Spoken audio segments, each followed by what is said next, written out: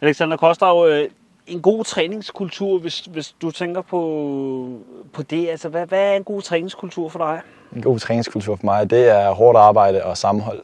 Øhm, det der med, at øh, vi kan sgu ikke alle sammen være på toppen hver eneste dag. Øh, så det der med at kunne hjælpe hinanden, øh, det der med, at vi er forskellige, det er sådan set meget godt, øh, synes jeg.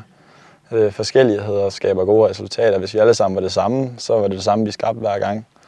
Øh, så det der med forskelligheder, øh, og det synes jeg, vi har på holdet. Vi har mange dygtige spillere med fødderne. Vi har nogle, der er meget eksplosive. Vi har nogle, der er meget altså, kommunikationsmæssige og, og kan brage igennem. Øh, så de der uligheder, der i sidste ende skaber et godt fælles resultat. Så en, en god bredde af mange spillere, der kan arbejde sammen om et fælles mål.